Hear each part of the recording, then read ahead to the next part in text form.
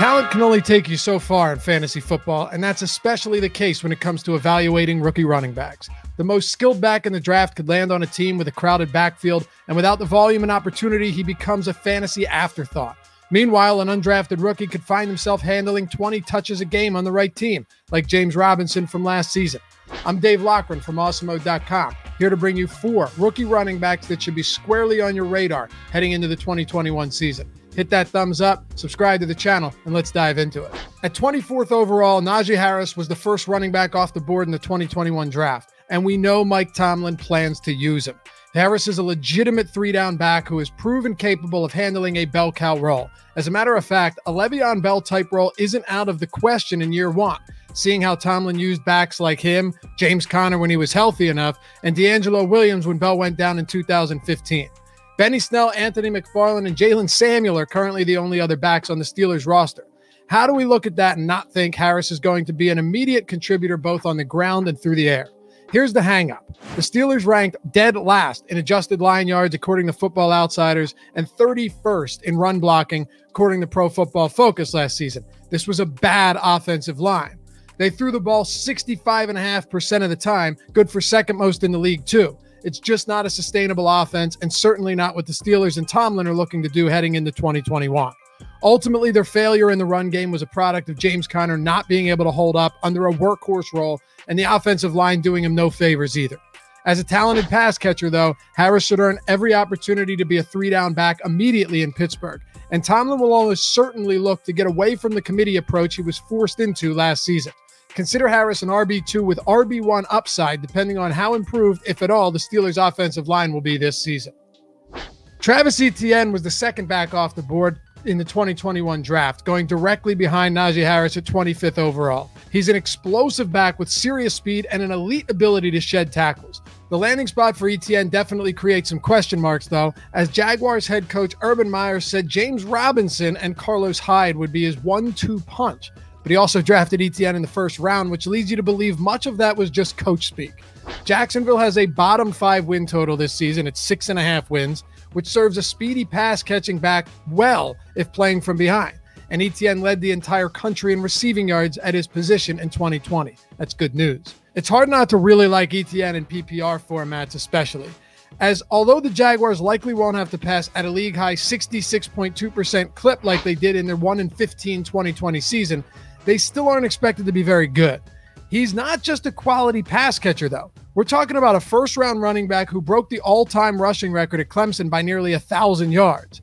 Unless you're a big believer in James Robinson, who, sure, he was very impressive on a one win team with no competition in the backfield last year, you have to think Etienne immediately carves out a big role both as a rusher and a receiver.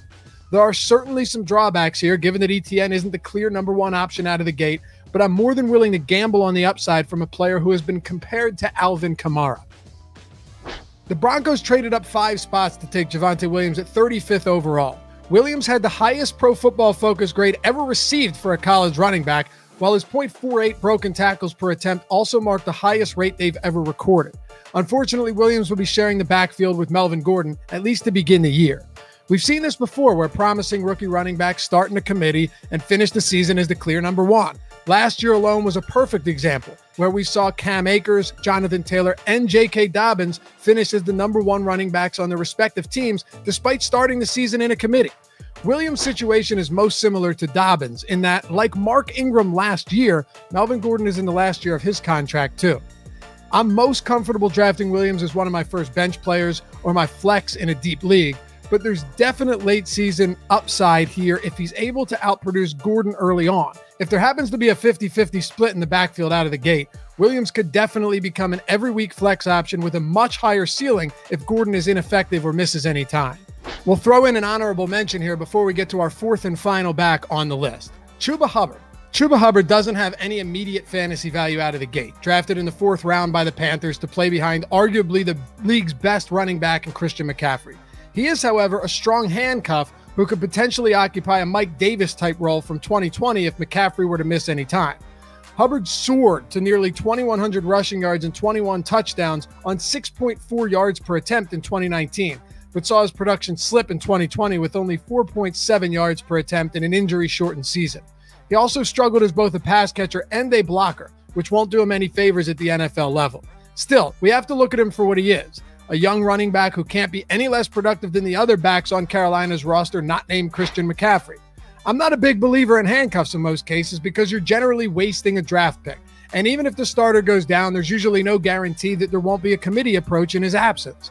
Hubbard will be competing with Reggie Bonnafon and Rodney Smith, though, which could open the door to real volume and opportunity if McCaffrey does happen to hit the shelf.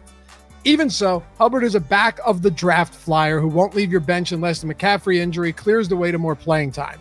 With that in mind, most players you take at the end of the draft are never going to pan out anyway. So why not take a shot on an unknown who could stumble into a significant role if all the stars align?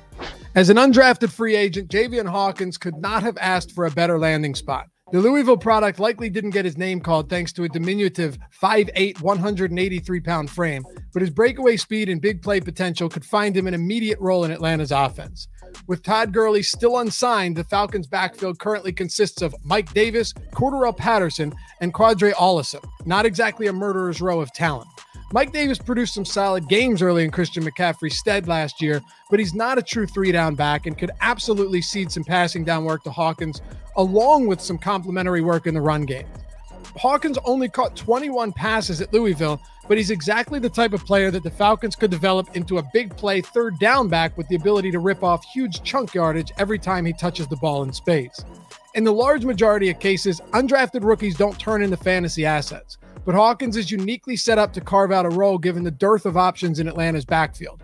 Closing out your drafts with a flyer on Hawkins or drafting him in the third round in rookie drafts just makes sense given the landing spot. There you have it. Four rookie running backs to keep on your radar heading into the 2021 drafts. Thanks for watching and be sure to check out everything we have at awesemo.com for your fantasy football needs.